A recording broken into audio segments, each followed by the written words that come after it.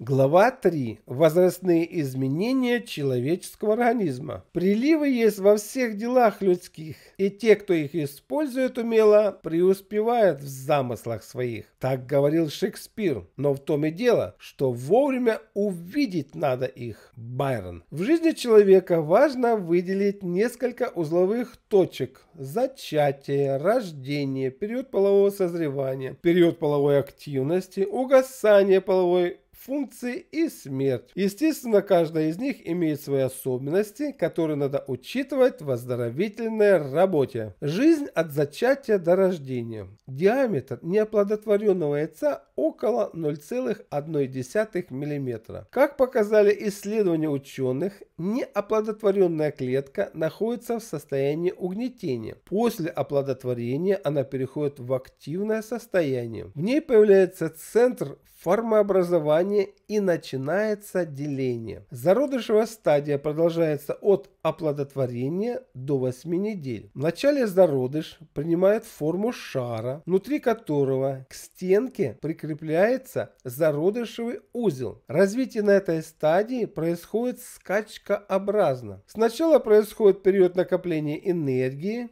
то есть наблюдается покой. Затем следует период быстрого превращения, деления и снова покой. За этот короткий период успевает образоваться тело, а сам зародыш совершает путешествие и привыкание к новым условиям существования. Вначале он существует в трубной и маточной среде, затем наступает имплантационный период, далее предплацентарный и, наконец, плацентарный. Все эти периоды требуют напряжения и сопровождаются повышенной смертностью зародышей. Вообще, чувствительность зародышей повреждающим агентам так велика, что даже временное нарушение нормальных условий жизни матери, незаметный для нее перегрев, утомление, нездоровье, именно эти моменты дают серьезные последствия, которые приводят к смерти зародышей, либо сказываются в зрелом возрасте. В это время особенно критическими являются два периода до имплантации первая неделя и до плацентации с 6 по 9 неделю. Лучшее понимание интимных связей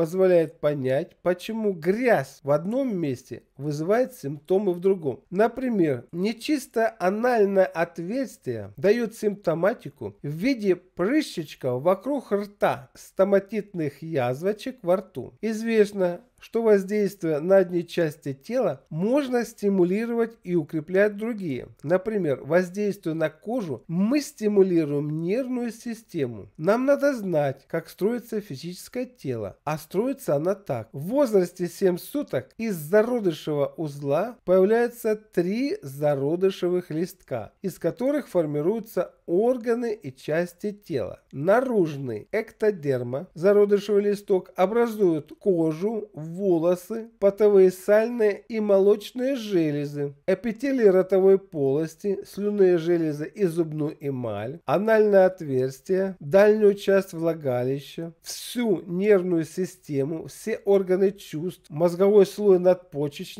хромофинную систему, гипофиз, эпифиз, хрящи висцеральной части черепа. Внутренний энтодерма, зародышевый листок, образует пенную струну, эпителий всего желудочно-кишечного тракта, от рта до ануса, со всеми железами поджелудочной печенью, легкие, трахею, ухо, танзилярные крипты, щитовидную и паращитовидную железу, вилочковую железу, мочевой пузырь. Средний мезодерма, зародышевый лист, образуют большую часть скелетной мускулатуры, позвоночник, соединительно-тканную часть кожи. Из боковых пластинок перитониум, плевру, перикард, брызжейку, всю кровеносную и лимфатическую системы, скелет туловища и конечностей, кровеобразующие органы, лимфатические узлы, кору надпочечников, половые железы. С этих позиций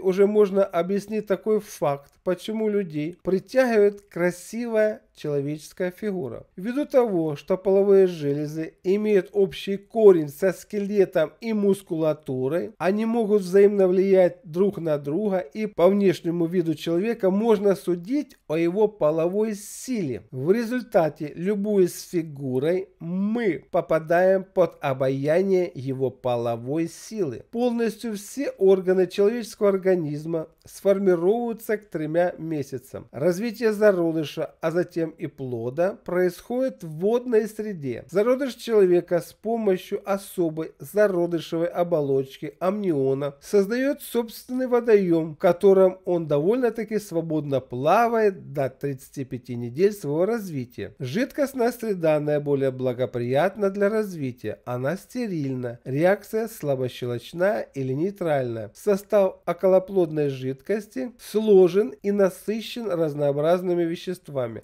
гормонами, витаминами, разнообразными минеральными и органическими веществами и даже содержит небольшое количество радиоактивных элементов. Некоторые ученые считают, что плод помимо питания из крови матери использует питание через кожу из околоплодных вод. Одним из основных источников образования околоплодной жидкости является выделительная функция почек. Таким образом, собственный водоем в значительной степени состоит из собственной мочи плода. Поэтому мы все являемся уринотерапевтами. Но надо заметить, что моча плода сильно отличается от такой у взрослых и даже детей. По мере развития качественно меняется состав тела. Особенно наглядно это прослеживается по содержанию воды. Так, шестинедельный зародыш содержит ее 97,5%, четырехмесячный 90%,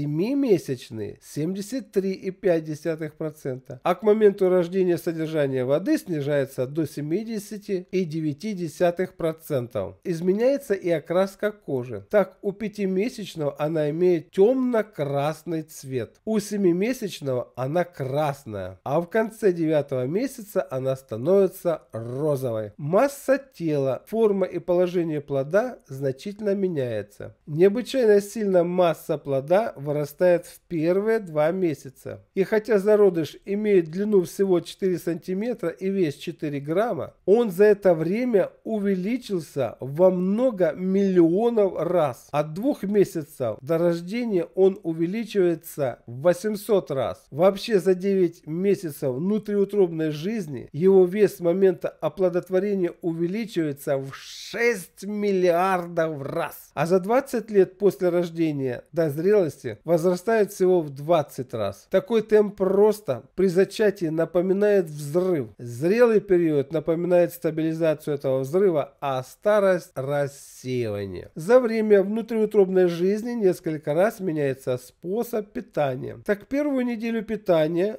осуществляется за счет запасов, содержащихся в яйце. Это желтковое питание, жир, белки и пигменты. С двух-трех недель, когда происходят основные процессы образования зародышевых оболочек, питание осуществляется с помощью трофобласта. Трофобласт – наружная оболочка зародыша, которая своими ферментами расплавляет ткани материнского организма и усваивает их продукты, то то есть это мясоед такой крутой. С четвертой до восьмой недели питания осуществляется за счет веществ, доставляемых ворсинками хориона. Это прообраз плаценты из крови материнского организма, можно сказать, вампирная стадия. И, наконец, с восьмой недели до рождения питание дыхания осуществляется из крови матери через плаценту, с которой тесно соседствуют капилляры материнской и зародышевой системы кровообращения. Одновременно начинает совершенствоваться и желудочно-кишечное пищеварение. Плод заглатывает амниотические воды, то есть околоплодную жидкость, что и способствует развитию пищеварения в утробный период. На третьем месяце утробной жизни в кишечнике появляется первородный кал, меконий, количество которого при рождении составляет от 70 до 90 граммов. Циркуляция крови в плоде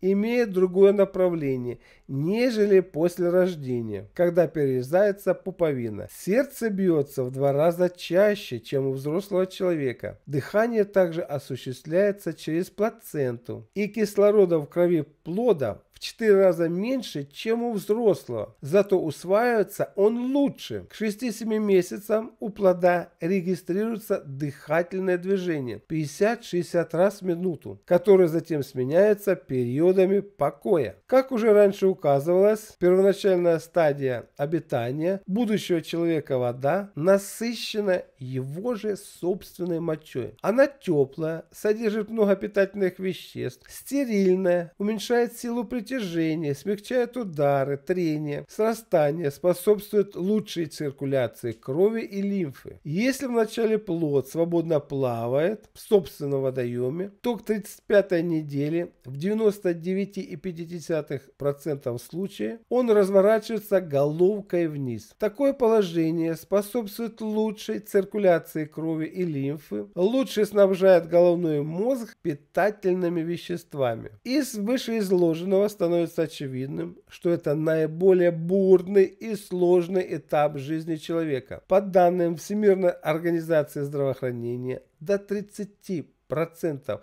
зародышей погибает в первые дни после оплодотворения. У 1% новорожденных обнаруживаются пороки развития. У значительного процента школьников проявляется патология, причина которой в дефектах, возникших еще до рождения. Будущие матери должны помнить, что все, что способствует ускорению или замедлению дробления яйца, приводит к аномалиям в развитии будущего ребенка. К этим факторам относятся прием лекарств абсолютно всех, антибиотиков, успокоителей, от тошноты и так далее, искусственных витаминов, вредных пищевых веществ и добавок типа алкоголя, кофе, дурные привычки, курение и так далее. Работа с летучими веществами, шум, вибрации, лучистая энергия, в частности загорание на солнце, ночные смены, неблагоприятное психическое окружение в семье, на работе и так далее. Особенно берегите себя в первые три месяца беременности. Знание особенностей этого периода жизни поможет вам разобраться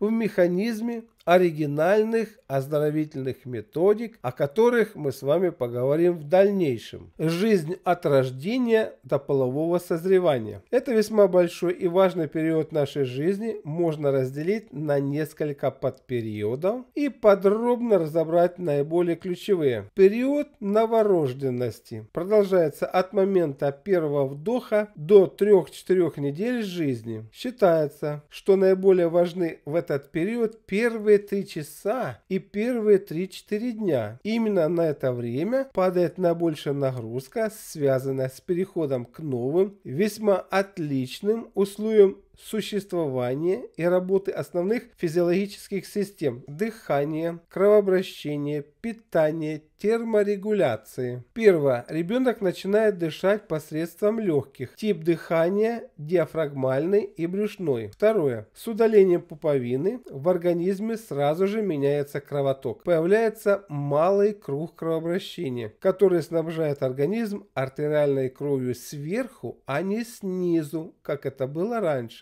Третье. Включается пищеварительная функция, что предъявляет новые, необычные требования к организму, хотя она и подготавливается при внутриутробном развитии, то есть заглатывание и переваривание околоплодных вод насыщенных собственной мочой. К тому же в это время, первые 24-48 часов, происходит заселение желудочно-кишечного тракта различными бактериями. Поступают они в основном с пищи, отсюда очень важно, какая это будет пища. Четвертое. Смена водной среды обитания на суховоздушную может привести к перегреву новорожденного. Гравитация становится значительно ощутимее, а кровообращение и лимфоток еще не совершенны. Отсюда возможны разнообразные застои и пролежни со всеми неблагоприятными последствиями. К тому же это уже не стерильная среда. Отсюда повышенные требования к иммунитету. Пятое. Отрыв новорожденного новорожденного от материнского организма колоссальный стресс. Ребенок лишается материнской защиты, поэтому в этот период он должен постоянно ощущать биополевую защиту и подкормку от матери. Ведь водная среда имеет наибольшее сродство с электронами, и через акупунктурные точки ребенок из околоплодной жидкости получает свободные электроны и необходимые ему вещества. Если он будет оторван от матери, он всего этого лишается. Несоблюдение этих элементарных условий приводит к катастрофическим последствиям. Большой смертности этого периода жизни, закладывание страха и агрессивности на всю жизнь, серьезным нарушением в пищеварительной системе и многим другим, которые вдруг неожиданно появляются во взрослом возрасте. Вот простые рекомендации, позволяющие избежать этих негативных последствий. Первое. Ни в коем случае не надо отделять мать от ребенка. Тогда ни ребенок, ни мать не будут испытывать страхов и переживаний. Ребенок станет спокойным и будет хорошо развиваться. Второе. В целях заселения желудочно-кишечного тракта ребенка необходимой микрофлоры необходимо давать грудь сразу после рождения ребенка. Клинический опыт показывает, что новорожденные дети, лишенные с первых часов жизни молозива своей матери, легче заболевают расстройствами пищеварения. Молозиво, которое выделяется в первые 2-3 дня лактации, представляет собой жидкость густой, клейкой консистенции желтого цвета. Молозиво – наиболее слизеобразующий продукт, способствующий росту. Оно богато жирами, белками, каротиноидами, микроэлементами, а главное антителами, ферментами и витаминами. Если так поступать, то ребенок легко и естественно переходит от внутриутробной жизни к внеутробной. Последующее кормление должно осуществляться только молоком матери из груди. Никаких кипячений и заменителей. Третье. Кратковременное воздействие прохладной воды на кожу ребенка в виде быстрого окунания или обтирания и так далее, необычайно сильно стимулирует защитные силы и развитие младенцев. Крещение водой у многих народов процедура предназначена именно для этой цели. Грудной период начинается от окончания периода новорожденности и заканчивается к полутора годам. В этом периоде продолжается интенсивное развитие организма, нарастает масса и совершенствуются все органы и системы. Потребность в пище повышена. Функционирование желудочно-кишечного тракта еще недостаточно. Поэтому любое отклонение от вскармливания как по количеству, так и по качеству, сразу же приводит к острым и хроническим расстройствам пищеварения. Нам важно знать причины, почему это происходит, и тогда мы можем легко избежать их. Ввиду огромной важности этого вопроса, разберем его подробно и строго научно. Существует три типа пищеварения. Каждый из них имеет свои достоинства и недостатки. Как правило, они взаимодействуют и в зависимости зависимости от тех или иных условий периода жизни, каждый из них может стать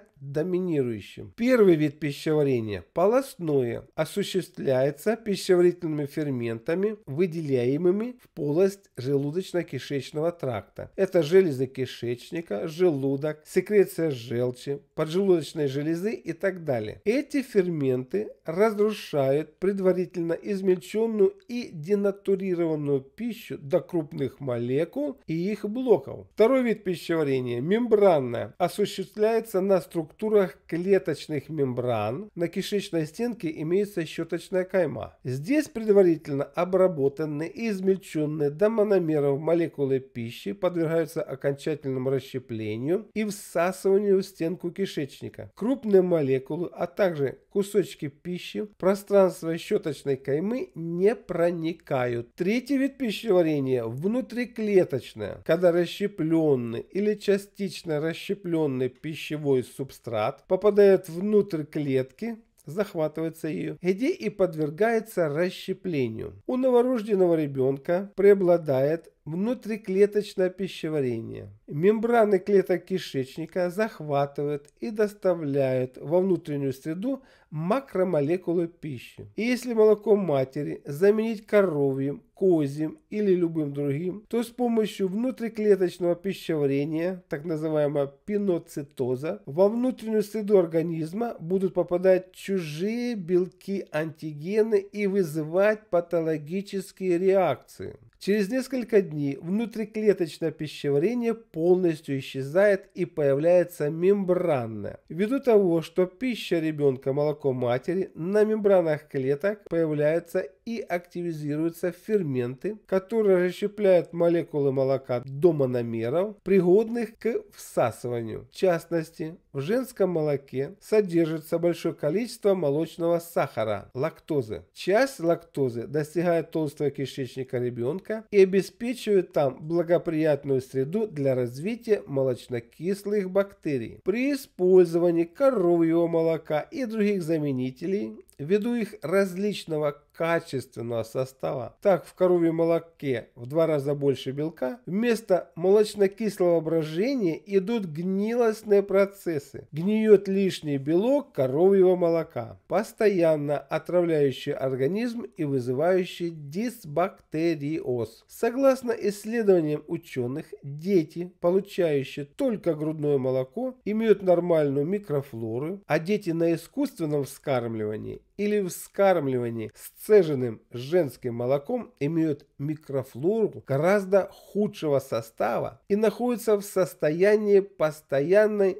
субинфекции. И вот что происходит на самом деле. Если дети в первые 2-3 месяца жизни редко болеют, то в возрасте от 4 до 6 месяцев они легко могут инфицироваться детскими инфекциями, корь, краснуха, скарлатина и другие, а также гнилостными инфекциями, поражающими кожу, слизистой оболочки дыхательных и пищеварительных путей. Это считается снижением пассивного иммунитета и слабой выработкой активных иммунных свойств. Ничего подобного. Просто за первые 2-3 месяца, а то и раньше, ошибками в питании мы успеваем так подорвать пассивный иммунитет и заглушить выработку активных иммунных свойств, что последствия этого в виде общего нездоровья, здоров'я нарушений физического развития и интеллектуальной ущербности сказывается на протяжении долгих лет. Следующий важный этап – это переход на взрослое питание. Он наступает по мере формирования полостного пищеварения. При этом постепенно изменяется состав и активность пищеварительных ферментов. Синтез и активность одних ферментов усиливаются, других ослабляются. Чрезмерно важно, что в этот период подавляется синтез лактазы, пищеварительного фермента, расщепляющего молочный сахар. Молоко матери и, естественно, молоко животных из-за этого становится вредным. Оно перестает усваиваться. Ребенок начинает отказываться от молока и переходит на более взрослую пищу. Таким способом сама природа помогает матери прервать уже трудную для нее и почти ненужную для ребенка пищевую связь. Встает вопрос, когда начинать прикорм и чем прикармливать. К концу первого года грудной ребенок уже может обходиться без ферментов, гормонов, антител, которые он получает с материнским молоком. Они в достаточном количестве вырабатываются его собственным организмом. Вот с этого возраста и надо начинать прикорм. Ввиду того, что вода в организме структурированная, а сам организм ребенка имеет большой процентный состав воды, пища должна быть в виде жидкой консистенции и включать в себя структурированную воду. Так как пищеварение у грудного ребенка еще слабое, ему нужна помощь в виде ферментов, витаминов, минеральных солей, содержащихся в пище. Пищеварение в значительной мере должно осуществляться за счет самих ферментов пищи. Для этой цели идеально будут подходить свежевыжатые фруктовые и овощные соки. Чем ребенок взрослее, тем больше в соках должно быть мякоти. Соки давать сначала в небольшом количестве, 1-2 чайные ложки и постепенно довести разовый прием до 30-50 граммов. Очень хорошо будет, если мать вначале поддержит некоторое время сок у себя во рту, а затем даст ребенку. Это позволит предварительно слегка обработать его и обезвредить. После года можно переходить на более твердую пищу, не содержащую крахмала и много белка. Пища по-прежнему должна содержать много ферментов для самопереваривания, витаминов и минеральных солей. Для этой цели идеально подходит проросшее зерно пшеницы, можно с медом. Но и тут мать должна помогать ребенку ребенку. Ввиду того, что ребенок еще не может как следует жевать, она должна тщательнейшим образом все переживать, превратить пшеницу в пищевое молочко и в таком виде дать ребенку. Точно так же его можно подкармливать грецкими орехами, свежеприготовленными фруктовыми пюре, небольшим количеством натурального творога. Естественно, прикорм должен вводиться постепенно постепенно. Впоследствии, когда ребенок сможет тщательно жевать, можно давать ему пищу без предварительной обработки. Период от 1 года до 3 лет, когда осуществляется переход к взрослому питанию, таит в себе большие неприятности. Как правило, большинство желудочно-кишечных заболеваний закладывается в это время. Постарайтесь в этот период не кормить ребенка следующими продуктами. Первое. Молоком. Указывалось что сама природа прекращает активность фермента лактазы с тем, чтобы ребенок отказался сам от молока. Молочный период кончился. Потребление его теперь будет приводить к различным расстройствам желудочно-кишечного тракта, дисбактериозу и образовывать много слизи в организме. Второе. Кашами, мучными изделиями. Пищеварительная система еще не имеет достаточно мощности для полноценного усваивания их. Организм наполняет наполняется крахмалистой слизью,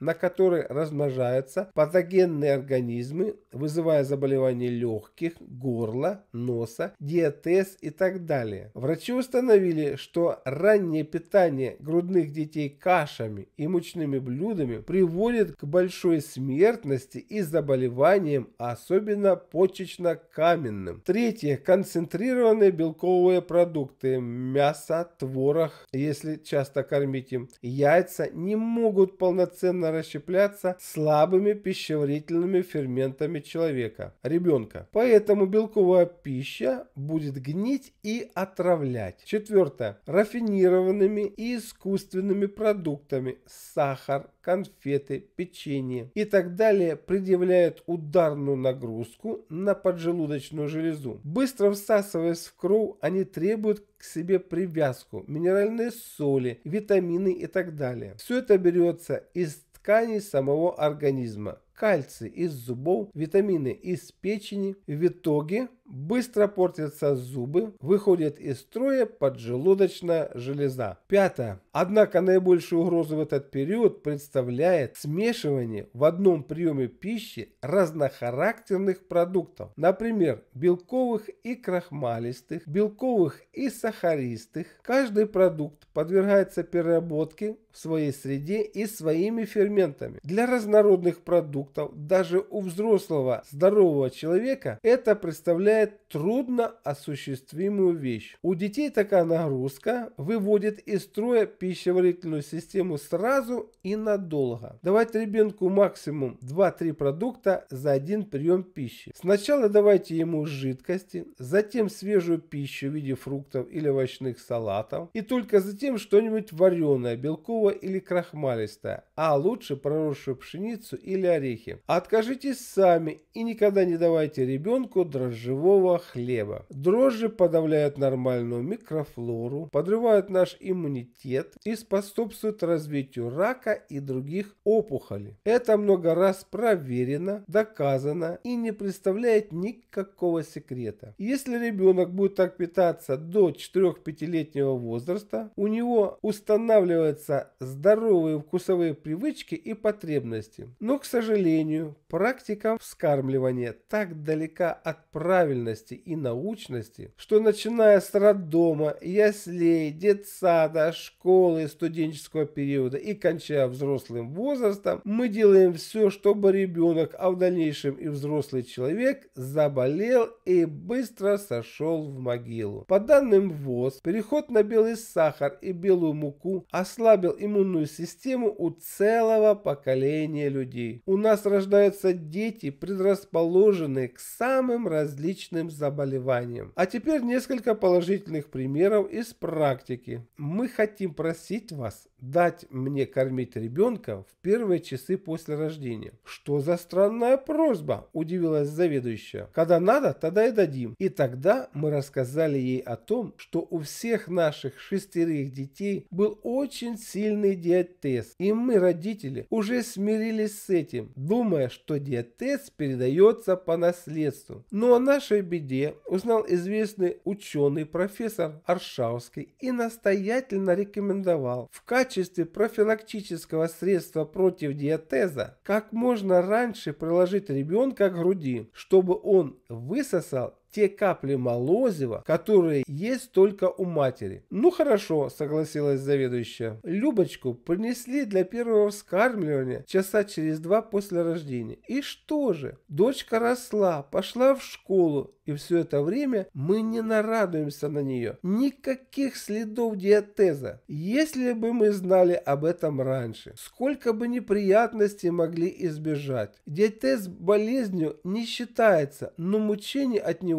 и ребенку, и родителей бывает много. Уже у трех-пятимесячного малыша появляются мокнущие прыщички, а потом и болячки на личке, под коленками. В теплоте они нестерпимо зудят. Малыш их иногда расчесывает до крови, плачет, капризничает. И это тянется год, два и дольше. И ни лекарства, ни диета не дают стойкого результата. Наступает время на улучшение, а потом вдруг опять хуже прежнего. И вот от всего этого мы избавились. И к тому же так просто. Могли ли мы предположить, что первые часы жизни человека так сильно могут повлиять на его дальнейшее развитие? Из книги Никитиных «Мы и наши дети. Ростов-на-Дону. 1991 год». Следующая выдержка. Я должна была родить своего первого ребенка в возрасте 32 лет. В один прекрасный день овощные салаты, которые я так любила, стали казаться мне безвкусными, как древесные, и я переключилась на совершенно другую пищу, а именно в первый, второй и третий месяцы беременности мне ничего не хотелось есть, кроме грейпфрута и лесных орешков три раза в день. Четвертый, пятый и шестые месяцы, кроме грейпфрута, я ела и другие фрукты, такие как сливы, груши, яблоки и ягоды, выращенные без химических удобрений. Мы вычитали, что чай из листьев малины с медом полезен при беременности сырости, и поэтому насушили много этих листьев. Всю зиму я пила настой из листьев малины с медом и 500 граммов морковного сока ежедневно. Самочувствие было настолько хорошим, что я не ходила к врачу до 6 месяцев беременности. Доктор, осмотрев меня, удивился сильному биению сердца ребенка и тому, что у меня не было лишнего веса и токсикоза. Он верил в естественные роды и был доволен моей простой натуральной пищей. Я прогуливалась каждый день, делала упражнения упражнения для естественных родов и выполняла домашнюю работу. И, наконец, Эрик выскочил на белый свет. Головка его была покрыта густыми, длинными, черными курчавыми волосами. Волосы особенно бросаются в глаза, ибо у большинства новорожденных в наши дни волос мало или их вовсе не бывает. Изумительный цвет кожи был предметом разговора врачей и сестер. Ко всеобщему удивлению, я была в состоянии кормить кормить Эрика грудью. Сначала молоко шло медленно, но вскоре у меня пошло обильное жирное молоко. Больничное питание, будучи почти целиком вареным, конечно, не устраивала меня. И я просила давать мне из кухни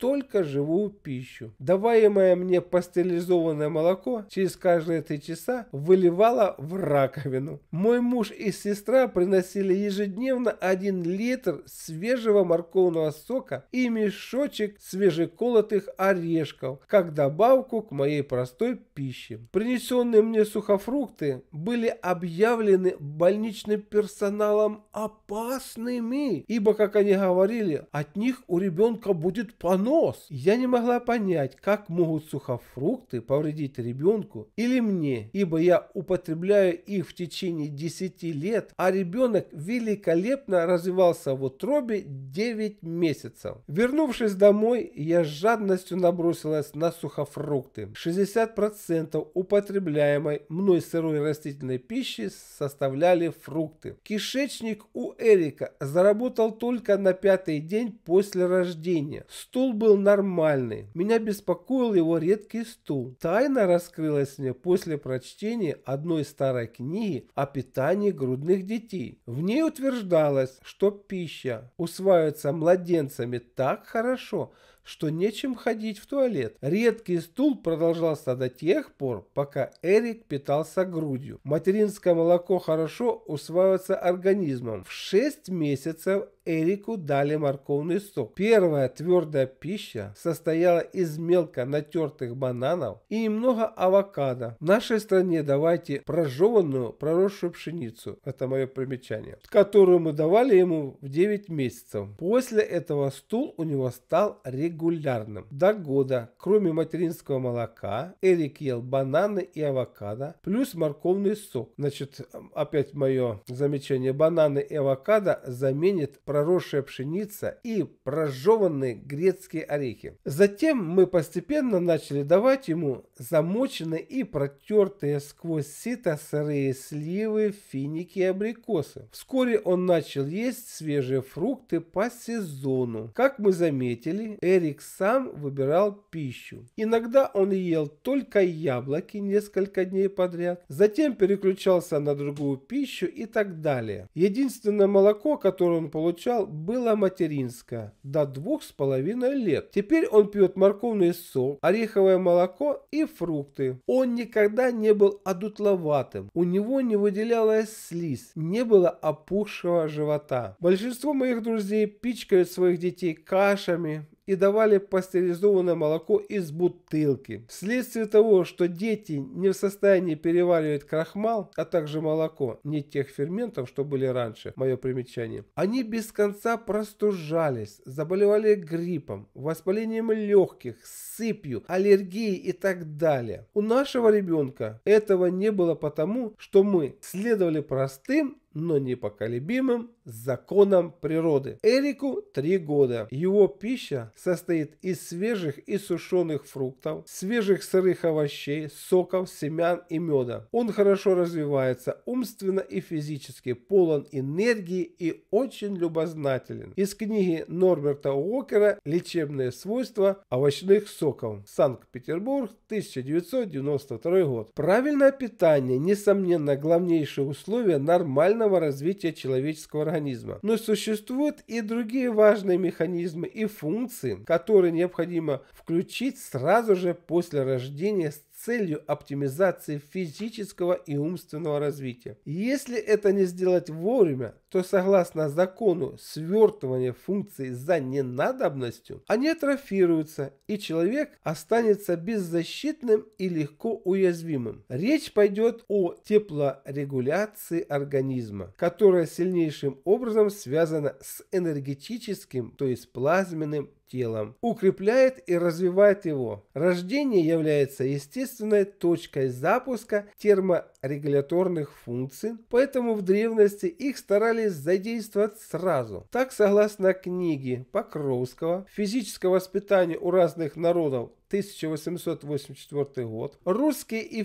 финны рожали ребенка в бане и жили там целую неделю, где температура могла быть плюс 50 градусов Цельсия. Считалось, что жара делает ткани тела мягкими и облегчает роды, а тунгуски, наоборот, разрешались от бремени во время перекочевки под открытым небом и при 40-градусном морозе. Новорожденные выдерживали и жару, и холод. Диапазон температур около 90 градусов Цельсия. После рождения у многих национальностей был обычай окунать детей в холодную воду. У других обтирать снегом, то есть сразу пускать в ход все механизмы терморегулирования. В дальнейшем детей не нежели, не укутывали, что позволяло укреплять и развивать энергетическое тело, от силы которого зависела мощь защитных резервов организма. Кстати, вот как вспоминает день своего рождения один из наиболее закаленнейших людей прошлого столетия Порфирий Иванов. «Я родился в нашей землянке ночью под 20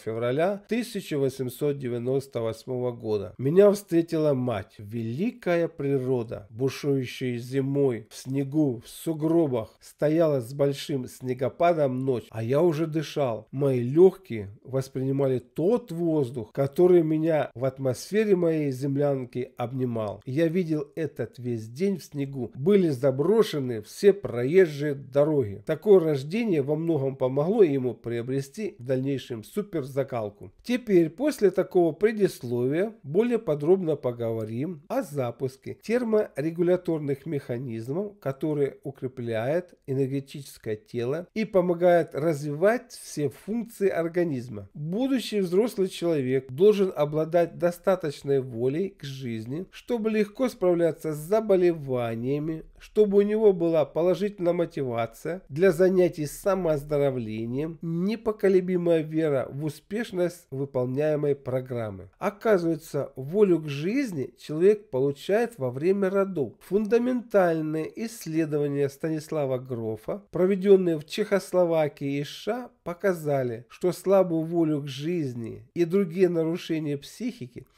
люди получают во время родов. Обычно мать тяжело переживает процесс родов. В результате в организм ребенка поступают химические вещества, появившиеся от этих неблагоприятных эмоций и вызывает те же эмоции у него, ребенка. Панический страх матери, что она не сможет родить, передается ребенку. Он возрастает многократно, когда тело ребенка сдавливается при выходе. Эти переживания навсегда запечатлеваются в его подсознании, образуя голографическое клише страха. Такая патологическая голограмма может сразу откладывать свои неблагоприятные благоприятные отпечатки на умственное и физическое развитие, либо позже возникать у взрослых людей в критических ситуациях. Так даже при пустяковом заболевании они пасуют, не говоря уже о серьезном. Разработана масса методов, чтобы избежать этого. Но самым эффективным оказался русский метод Игоря Чарковского. Это роды в воде. Если мама старательно готовится к родам в воде, то есть плавала, ныряла, надолго задерживала дыхание, а это можно делать и в обычной ванне, то они проходили не только безболезненно, но и доставляли ей невыразимое блаженство, с которым нельзя сравнить никакие другие переживания. Это благодатное состояние передается и младенцу, вызывая голографию голографическое клише эйфории и запоминается на всю жизнь. Во всем мире есть несколько сот водных детей, которые растут удивительно здоровыми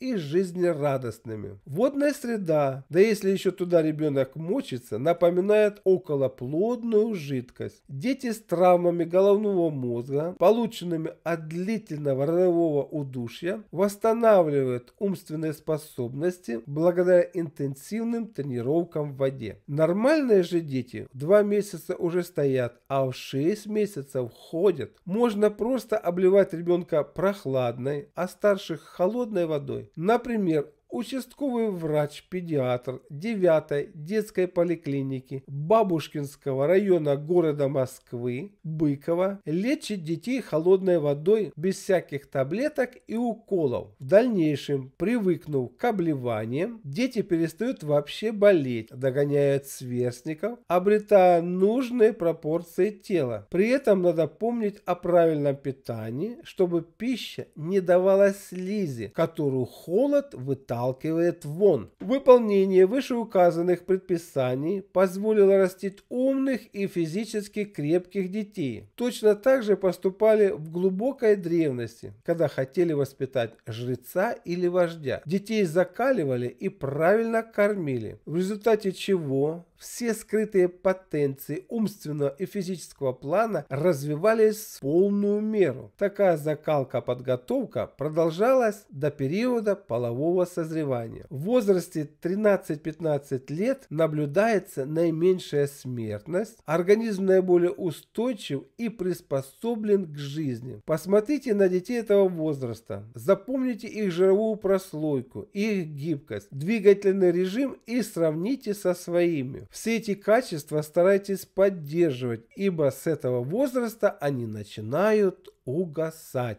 Зрелый период жизни. Как это не прискорбно констатировать, но после полового созревания потихоньку начинают угасать физические качества. Так снижается уровень иммунной защиты, вилочковая железа тимус, которая в предполовом возрасте обеспечила клеточный иммунитет, продуцируя Т-лимфоциты, атрофируется. И это естественно. Организм переходит на биополевую защиту. К этому времени энергетическое, то есть плазменное тело должно стать плотным и от отталкивать, буквально так выметать от себя все патогенные микробы и прочие начала. Но вместо того, чтобы укреплять и совершенствовать это тело с помощью движений, питания, закаливающих процедур, мы снижаем двигательную активность, переедаем, сидим в тепле и никакого качественного перехода от одного способа защиты к другому не происходит. Мы наоборот теряем достигнутое ранее. Ввиду того, что после прекращения роста организма в нем начинают незаметно капливаться метаболические и другие шлаки. Надо с 20-25 лет потихоньку выполнять очистительные процедуры, придерживаться постов. А после 30-летнего возраста должна быть выработана индивидуальная система очищения и проводиться небольшие голодания от 1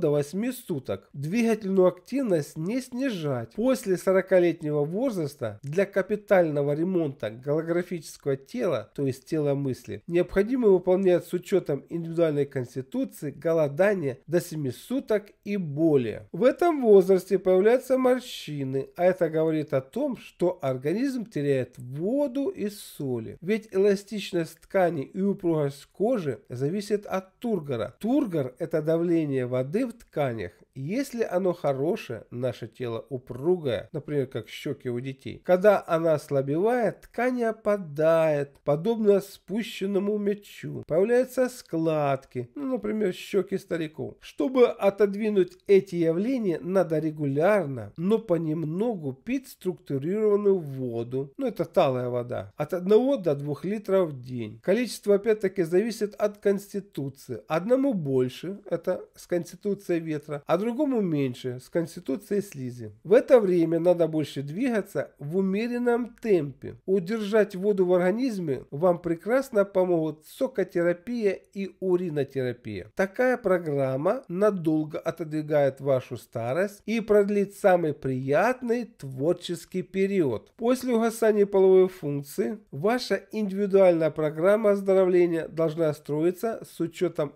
компенсации потерь структурированной воды и тепла. О том, как поддерживать структурированную воду уже говорилось. А вот тепло надо разжигать внутри себя умеренными, но длительными движениями. Выполнение этих двух пунктов позволит вам бороться с одеревенением сухожилий и суставов. Будет поддерживаться циркуляция тепла на хорошем уровне. Шире используйте теплые процедуры, которые расправляют суставы, подпитывают тело водой и теплом. Пищу больше используйте свежевыжатые соки овощей и фруктов, продукты с повышенной биологической активностью, это проросшее зерно, продукты пчеловодства. Меняйте климат на более влажный и теплый. Место жительства наиболее энергонасыщенное, его определяют биолокации. Все это позволит вам прожить долго и не болеть. Изменение жизненных принципов. Дождь в течение жизни. В связи с тем, что в оздоровительной литературе весьма мало уделяется внимания поддержанию здоровья от зачатия до половой зрелости, ему и было уделено наибольшее внимание. А теперь дополним вышеуказанную информацию древними трактовками о развитии в течение жизни трех главных жизненных принципов ДОЖ – слизи, желчи и ветра, а также входящих в них пяти первоэлементов – эфира, воздуха, огня, воды и земли. На мой взгляд, древняя трактовка развития ДОЖ и первоэлементов позволит гораздо яснее показать изменения, происходящие в организме, объяснить, как с ними бороться и индивидуализировать программу оздоровления на все периоды жизни. Всю жизнь человека можно разбить на три больших периода. Период слизи, то есть от рождения до 25 лет. Период желчи от 25 лет до 60 лет. Период ветра от 60 лет и до конца жизни. Первый период слизи. В это время преобладают анаболические процессы, организм растет, в нем еще много воды. Жизненный принцип слизи состоит из первоэлементов воды и земли, которые в это время создают форму будущего организма. Они не способствуют развитию тепла в организме, а наоборот угнетают его. Любое привнесение влаги и прохлады извне, например, изменение погоды или пищи будет способствовать накоплению излишка слизи и приводить к заболеваниям слизистой природы. Особенно сильно это выражено у детей преобладанием в конституции доши слизи и обостряется весной и осенью в прохладную и сырую погоду. У детей с дошей ветер, наоборот, этот период жизни может пройти безболезненно. Второй период желчи в это время процессы синтеза и распада тканей уравновешиваются, организм находится в относительно стабильном состоянии. В это время доминирование получает жизненный принцип доша желчи, который состоит из первоэлементов воды и огня. Причем если в доше слизи преобладает вода, то здесь огонь преобладает над водой. Умственные и пищеварительные процессы наиболее сильны. Любые воздействия теплоты в этот период, жаркое время года, разогревающая пища, неадекватные эмоции будут способствовать накоплению желчи в организме и вызывать желчные расстройства, подъем температуры, воспаление, болезни органов пищеварения, психологические расстройства. Особенно сильными эти нарушения будут у людей с преобладающими дошами желчь, с пиками обострения летом. А вот у людей с преобладанием в конституции доши слизь этот период пройдет весьма гладко так как слабая пищеварительная и умственная способности будут получать усиление и вытаскивать слабые функции на вполне нормальный уровень работы. Третье. Период ветра. В этот период преобладают катаболические процессы, то есть распад тканей над их синтезом, организм обезвоживается. Ведь доша ветер состоит из первоэлементов эфир и воздух, которые дают сухость и холод организму. Отсюда любые привнесенные традиционные сухости и холода, холодное и сухое время года, сухая пища и так далее, будет способствовать уменьшению теплоты и обезвоживанию организма. Это наиболее плохой период для лиц с дошей ветер. У них кризисы будут наблюдаться в сухие, холодные зимы. Люди с преобладанием в собственной конституции слизи и желчи будут иметь преимущество и проведут остаток жизни в нормальном состоянии. Из содержания этой главы вытекает второй закон оздоровления. Строить собственную программу оздоровления в зависимости от возрастного периода периода. Наша задача следить за тем, чтобы не произошло возбуждение доминирующего жизненного принципа, то есть доши, и всемирно укреплять слабые принципы доши. Помните, общая направленность индивидуальных программ оздоровления должна медленно меняться со сменой периодов жизни.